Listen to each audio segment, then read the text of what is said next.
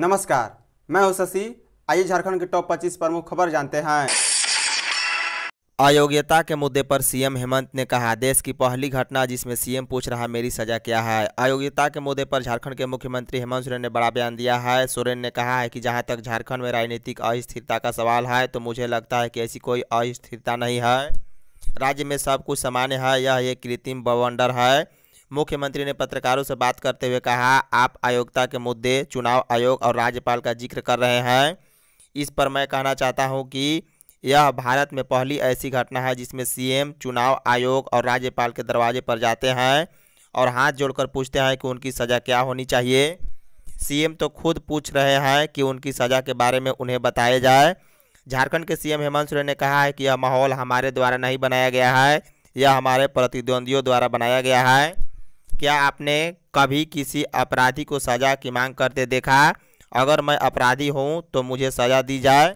उन्होंने कहा है कि यह हमारे विरोधियों द्वारा षड्यंत्र रचने का काम किया जा रहा है। झारखंड के सीएम हेमंत सोरेन ने कहा है कि अगर मैं मुजरिम हूँ तो हमें सज़ा सुना दी जाए। अगर मैं गुनाहगार हूँ और इतने दिनों तक सज़ा नहीं सुनाई जा रही है तो मैं इस पद पर किस हैसियत से बैठा हूँ, इसका जवाब उनको देना है। झारखंड में मौसम का मिजाज एक बार फिर बदल सकता है। दरअसल मौसम विभाग की माने तो राज्य में अगले पाँच दिनों तक हल्के से मध्य दर्जे की बारिश के आसार नज़र आ रहे हैं। रिपोर्ट के अनुसार 15 अक्टूबर से 21 अक्टूबर तक राज्य के दक्षिणी तथा मध्य भागों में बारिश हो सकती है। इस दौरान कुछ इलाकों में गर्जन के साथ वज्रपात की भी संभावना जताई गई है। हालाँकि तापमान में बहुत अधिक बदलाव देखने को नहीं मिलेगा। बता दें, पिछले 24 घंटे में राज्य में हल्के से मध्य दर्जा की बारिश भी हुई है। सबसे अधिक वर्षा रांची के खलारी में उनसठ मिलीमीटर दर्ज की गई है। सरकार शिविर लगाकर राज्य के निजी कंपनियों में देगी नौकरी। झारखंड के अंदर जितनी भी कंपनियाँ हैं, उनमें पचहत्तर प्रतिशत स्थानीय लोगों को नौकरी देने की तैयारी की जा रही है। कंपनियों में ही शिविर लगाकर स्थानीय लोगों को नौकरी दिलाई जाएगी। वनों उत्पादन के लिए बाज़ार तैयार किया जा रहा है। एमएसपी भी तय किया जा रहा है। ये बातें सीएम हेमंत सोरेन ने गोयल केरा में शुक्रवार को कही। यहाँ मंत्री जोभा मांझी के दिवंगत पति देवेंद्र मांझी की श्रद्धांजलि सभा और आपकी योजना, आपकी सरकार, आपके द्वारा कार्यक्रम में शामिल होने पहुँचे थे। मुख्यमंत्री ने कहा है कि झारखंड देश के सबसे पिछड़े राज्यों में शामिल है। यह इस राज्य का दुर्भाग्य है। राज्य के लोगों को अपने पैर पर खड़ा होना होगा। लोगों को पलायन करने की ज़रूरत नहीं है। दूसरे राज्य में जाकर बर्तन मांजने से बचने के लिए हम प्रदेश में ही काम दे रहे हैं। दीपावली छठ व गुरु पर्व पर दो घंटे कर सकेंगे आतिशबाजी दो वर्ष तक कोविड 19 संक्रमण के कारण दीपावली, छठ पर्व और नौ वर्ष पर आतिशबाजी कम हुई थी। इस बार आतिशबाजी अधिक होने की संभावना को देखते हुए झारखंड राज्य प्रदूषण नियंत्रण बोर्ड ने महत्वपूर्ण निर्देश जारी किया है। बता दें, इस वर्ष दीपावली छठ व गुरु पर्व पर दो घंटे रात आठ से लेकर दस बजे, वहीं क्रिसमस और नौ वर्ष के दिन मध्य रात्रि ग्यारह बजकर पचपन मिनट से बारह बजकर तीस मिनट तक मात्र 35 मिनट ही पटाखे फोड़ सकेंगे। इसके साथ ही बोर्ड ने पटाखों की ध्वनि सीमा भी निर्धारित की है। बोर्ड के अनुसार राज्य के सभी जिलों के बेहतर और संतोषप्रद श्रेणी में आने वाले शहरी क्षेत्र में वायु गुणवत्ता स्तर की सीमा 125 डेसिबल से कम होगी। हेमंत सोरेन के खिलाफ शिक्षकों ने खोला मोर्चा, आवास का करेंगे घेराव। गैर शैक्षणिक कार्य से मुक्त करने, सुनिश्चित वृत्ति, उन्नयन योजना का लाभ देने, छठे वेतनमान की विसंगतियों के समाधान तथा अंतर जिला हस्तांतरण नियमावली में आवश्यक संशोधन कर इसे सरल बनाने की मांग को लेकर प्राथमिक शिक्षकों ने आंदोलन की घोषणा कर दी है। अखिल झारखंड प्राथमिक शिक्षक संघ की बैठक रांची के कचहरी स्थित बीआरसी भवन में हुई, जिसमें आंदोलन का निर्णय लेते हुए इसके कार्यक्रम तय कर दिए गए। इसके तहत राज्य भर के प्राथमिक शिक्षक अपनी मांगों को लेकर 19 नवंबर को रांची में सीएम आवास का घेराव करेंगे। बैठक में जिलों से आए शिक्षक प्रतिनिधियों ने राज्य सरकार के पक्षपातपूर्ण रवैया पर आक्रोश व्यक्त किया। झारखंड के तुमेरा गाँव से विस्फोटक बरामद। नक्सलियों के कब्जे से जिस बुढ़ा पहाड़ को सुरक्षा बलों ने मुक्त करा लिया था, उसी के पास स्थित तुमेरा गाँव में शनिवार को बड़े पैमाने पर विस्फोटक बरामद किया गया। यह विस्फोटक नक्सली कार्रवाई के लिए छिपा कर रखे गए थे। बता दें, झारखंड की गढ़वा पुलिस, कोबरा बटालियन एवं सीआरपीएफ ने सर्च अभियान के दौरान इस विस्फोटक सामग्री को बरामद किया है। जिस इलाके से यह सामग्री बरामद की गई है, वह भंडारिया थाना क्षेत्र में आता है। शराब कारोबारी एमआरपी से ज़्यादा पैसा वसूले तो करे शिकायत। झारखंड के उत्पाद मंत्री ने शराब दुकानदारों को बड़ी चेतावनी दी है। उन्होंने कहा है कि अगर शराब दुकानदारों ने तय मूल्य से ज़्यादा पैसे ग्राहकों से लिए तो उनकी खैर नहीं। उत्पाद मंत्री जगन्नाथ महतो ने कहा है कि अगर किसी से दुकानदार एमआरपी से ज़्यादा पैसा लेता है तो वह हेल्पलाइन नंबर पर उसकी शिकायत करे। सरकार उस दुकानदार के खिलाफ सख्त कार्रवाई करेगी। उन्होंने कहा है कि राजधानी रांची के साथ साथ कई और ज़िले के दुकानदारों के खिलाफ कार्रवाई की गई है। शिकायत मिलेंगी तो सरकार उस पर ज़रूर कार्रवाई करेगी। जगन्नाथ महतो ने कहा है कि उत्पाद नीति पर विपक्ष सिर्फ़ आरोप लगा रहा है। अगर उसके आरोपों में दम है तो वह उसे साबित करके दिखाए। वहीं जगन्नाथ महतो ने उन्नीस सौ बत्तीस के खतियान पर भी बड़ी बात कही है। अपनी ही पार्टी, झारखंड मुक्ति मोर्चा के वरिष्ठ नेता लोबिन हेमरम को नसीहत दिया है कि ऐसे लोगों को अपने बयान पर कायम रहना चाहिए। झारखंड में डेंगू फैलने से रोकने के लिए विभाग अलर्ट। झारखंड में डेंगू और चिकनगुनिया के बढ़ते संक्रमण को देखते हुए स्वास्थ्य विभाग अलर्ट हो गया है। विभाग के अभियान निदेशक भुवनेश प्रताप ने सभी उपायुक्तों को इसकी रोकथाम को लेकर आवश्यक दिशा निर्देश दिए हैं। विभाग द्वारा जारी निर्देश के मुताबिक अभियान चलाकर डेंगू, चिकनगुनिया के फैलने से रोकने के लिए प्रचार प्रसार किया जाएगा। साथ ही जन समुदाय को घर के आसपास जल जमाव नहीं करने के लिए प्रेरित किया जाएगा। वहीं निजी अस्पतालों में डेंगू के संभावित रोगियों की सूची राज्य मुख्यालय को हर माह भेजने का निर्देश दिया गया है। साथ ही रिम्स रांची, धनबाद, जमशेदपुर और सदर अस्पताल रांची, चाईबासा और साहेबगंज को सेंटिनल सर्विस लाइन अस्पताल के रूप में चिन्हित किया गया है। यहाँ डेंगू, चिकनगुनिया से पीड़ित रोगियों की जाँच और इलाज की पूरी व्यवस्था है। हेमंत सोरेन की पीसी पर बीजेपी का निशाना। झारखंड में विपक्षी बीजेपी ने हेमंत सोरेन सरकार द्वारा चलाए जा रहे कार्यक्रम, आपकी योजना, आपकी सरकार आपके द्वारा कार्यक्रम पर हमला बोलते हुए इसे पैसे की बर्बादी बताया है। बीजेपी प्रदेश अध्यक्ष और राज्यसभा सांसद दीपक प्रकाश राज्य सरकार पर बड़ा हमला बोला है। उन्होंने कहा है कि अच्छा होता कि मुख्यमंत्री उजड़े दलितों, बलात्कार पीड़ितों, अपराधियों के डर से घर छोड़ते, लोगों का दुख दर्द दूर करते। दीपक प्रकाश ने कहा कि मुख्यमंत्री अपनी कमियाँ छिपाने के लिए जनता की गाढ़ी कमाई के पैसे को सरकार आपके द्वारा कार्यक्रम में बर्बाद कर रहे हैं। उन्होंने कहा है कि राज्य सरकार की नाकामियों का पुलिंदा इतना मोटा हो गया है कि वे बताते बताते थक जाएँगे। बता दें, मुख्यमंत्री की प्रेस वार्ता पर उन्होंने कहा कि न्यायालय कानून से नहीं डरने की बात करने वाले मुख्यमंत्री के लिए भ्रष्टाचार कोई बड़ी चीज़ नहीं है। उन्होंने कहा है कि उन्हें केंद्र सरकार पर आरोप लगाने के पहले सोचना चाहिए कि आखिर राज्य सरकार की नाकामियों के कारण केंद्र की योजनाएँ कैसे धरातल पर नहीं उतर रही।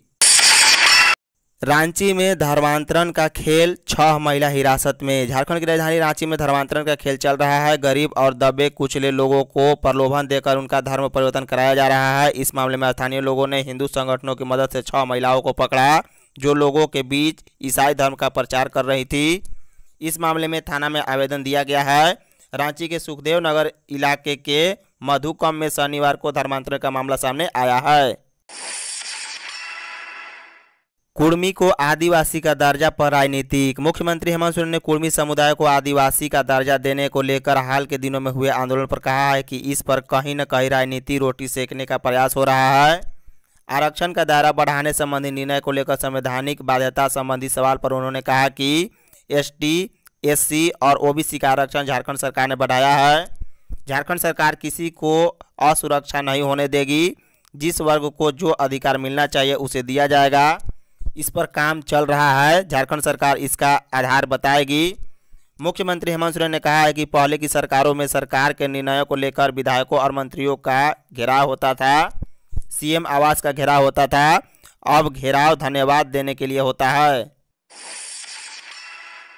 उन्नीस खतियान पर घबराने की ज़रूरत नहीं, सीएम हेमंत सोरेन। मुख्यमंत्री हेमंत सोरेन ने शनिवार को चुनाव आयोग से आए मंतव्य पर राजभवन की चुप्पी, उन्नीस सौ बत्तीस के खतियान के आधार पर स्थानीय नीति, आरक्षण की जटिलताओं, सुखाड़ समेत कैबिनेट में फेरबदल से संबंधित सवालों पर खुलकर बातचीत की। मुख्यमंत्री हेमंत सोरेन ने कहा है कि किसी को उन्नीस सौ बत्तीस के खतियान को लेकर घबराने की ज़रूरत नहीं है। झारखंड में जो लोग उन्नीस सौ बत्तीस के बाद से रह रहे हैं या जो बाद में आए हैं सरकार सबके अधिकारों का ध्यान रखेगी। झारखंड के आदिवासियों और मूलवासियों के अधिकारों को सुरक्षित रखते हुए हर वर्ग को अधिकार मिलेगा। इस पर किसी प्रकार के सवाल की गुंजाइश नहीं छोड़ी जाएगी। यह भी कहा है कि पहले उन्नीस सौ बत्तीस के नाम पर कितना खून खराब हुआ। इस बार जब हमने निर्णय किया तो लोगों ने होली दीपावली मनाई। ढोल नगाड़े बजाकर स्वागत किया गया। सुखाड़ पर फैसला 10 से 15 दिनों में लेगी झारखंड सरकार। हेमंत सोरेन ने कहा है कि सुखाड़ घोषित करने का केंद्र का पैमाना है। धान अगर घास के रूप में तब्दील हो जाए तो फैसला लेना चाहिए।